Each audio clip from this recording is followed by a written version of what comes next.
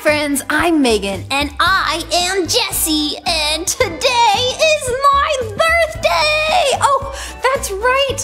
Happy birthday, Jessie! Oh, thank you. Are you going to have a birthday party? Yes, my mom and dad said I could invite my class at school. They asked if I only wanted to invite a few friends, but I said no. I want to invite everybody in my class, and they said I could. Oh, that is great. And I'm glad everyone can be included. It's going to be the best birthday ever.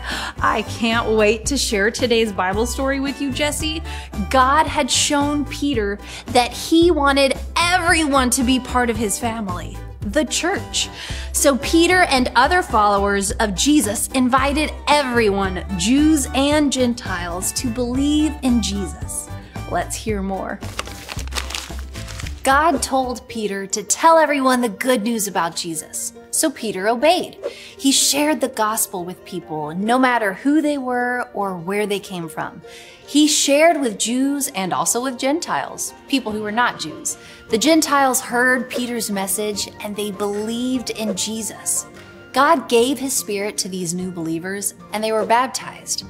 Before long, Jesus' followers in Judea heard that the Gentiles had believed the good news about Jesus. They were surprised. Peter explained that the gospel is for everyone. Then Jesus' followers praised God. Around this time, believers were living in places like Phoenicia, Cyprus, and Antioch of Syria.